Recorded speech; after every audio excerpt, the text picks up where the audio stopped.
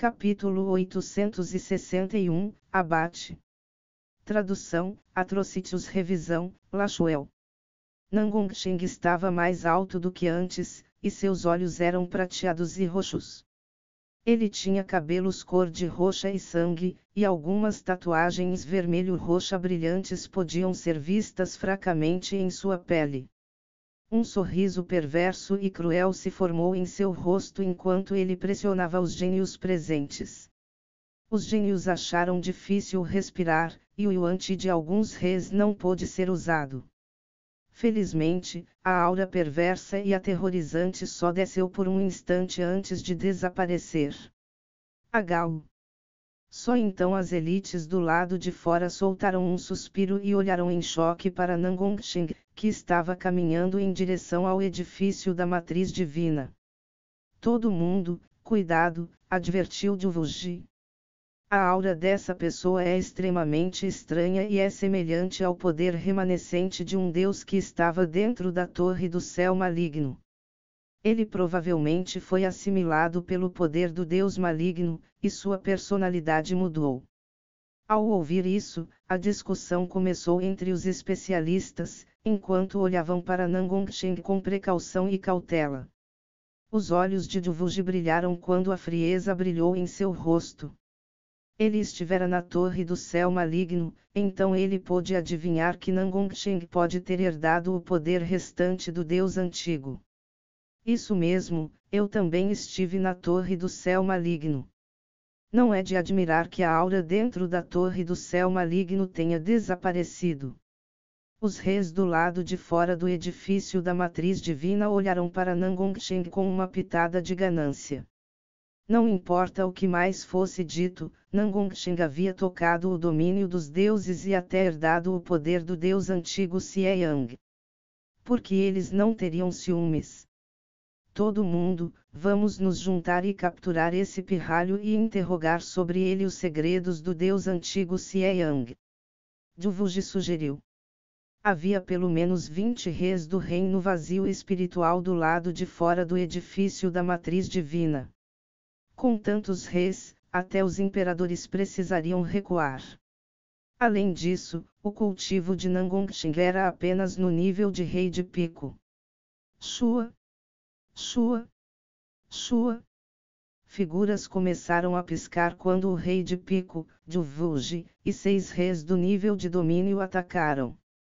O poder de batalha de Juvuji já era incomparável abaixo do nível imperador, antes de ele chegar a um rei de nível máximo. Mão do céu demoníaco. Juvuji rugiu quando um de seus braços se expandiu e começou a queimar.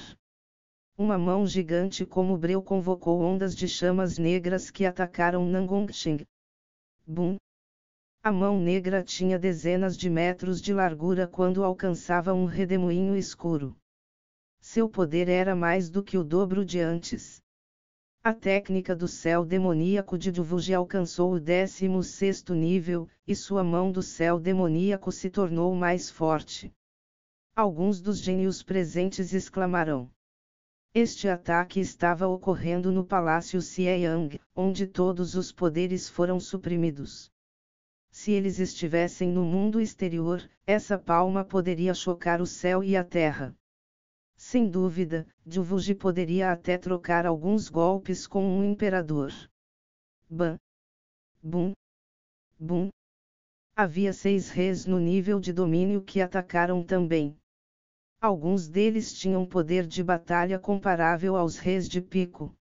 Ha ha ha ha, mate esse ladrão. Alguns dos reis próximos não puderam deixar de liberar sua raiva de terem sido saqueados pelo duo demoníaco. Bum! Ban! Ban! Quando todos os ataques estavam prestes a aterrissar em Nangongsheng. Um bando de formigas. Nangongsheng revelou uma expressão perversa e cruel enquanto falava cada palavra com uma pausa. Ele apenas ficou lá e deixou os ataques caírem contra ele. Ou. Figuras perversas se formaram ao redor de Nangongsheng e atacaram em todas as direções como demônios sanguinários antigos. Krek.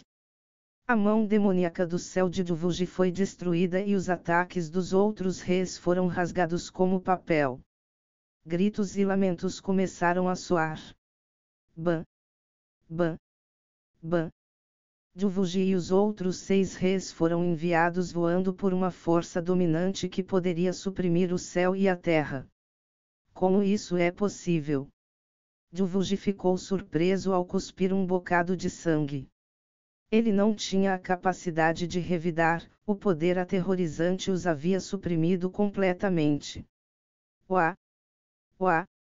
Vários reis cuspiram bocados de sangue quando foram enviados voando e desmaiaram. Arg! Arg!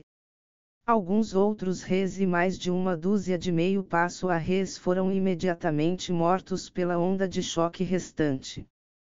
Tudo isso aconteceu no espaço de uma respiração. Es ai ai. Todas as elites presentes respiraram fundo. Que tipo de poder é esse?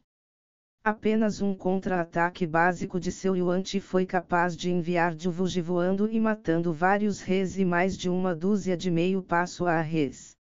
As costas de alguns especialistas estavam encharcadas de suor frio. Você, Juvuji estava deitado no chão, e seus olhos estavam cheios de pânico e descrença. Aqueles que ousarem me ofender morrerão.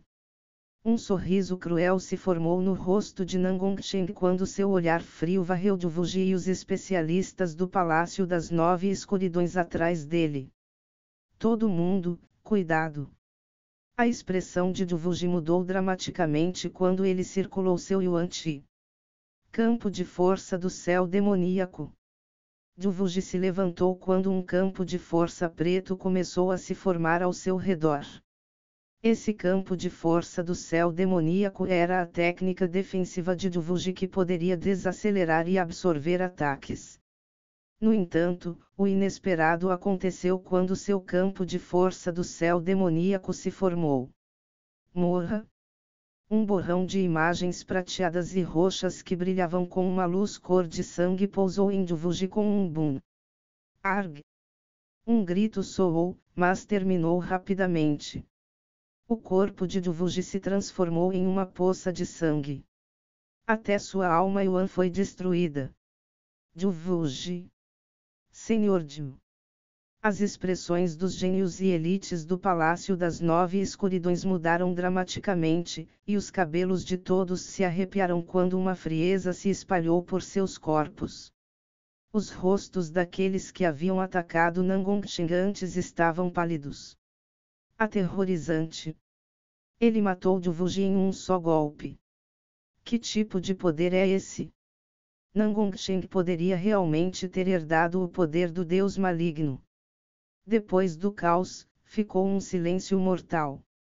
Essa cena chamou a atenção das principais figuras dos imperiais e do Palácio Céu Suspenso, dentro do edifício da Matriz Divina. Que poder aterrador! É o mesmo que o poder da Torre do Céu Maligno, a expressão de Xuanyuanuen tornou-se solene. Zhao Feng, Exayenvuring e companhia também observarão. O que eles viram em seguida foi um massacre. Arg! Os reis remanescentes e remanescentes do Palácio das Nove Escuridões gritaram quando um borrão de imagens prateadas e roxas os transformou em uma poça de sangue e água. Os ataques de Nangongcheng foram extremamente únicos, eles esmagaram a alma e o corpo físico. Os corpos físicos e as almas Yuan foram mortos. Como isso é possível? Essa é uma característica que pertence ao poder sagrado da luz mística. O Yuan-Ti e a linhagem do nono príncipe começaram a tremer. Os rostos de Exayenvuring e Xuanyuanuen se tornaram sulins. Nesse momento, Nangongxing era aterrorizante e ele havia excedido os limites normais. Em apenas uma respiração ou duas, todo o grupo de elite do Palácio das Nove Escuridões foi eliminado por Nangongxing.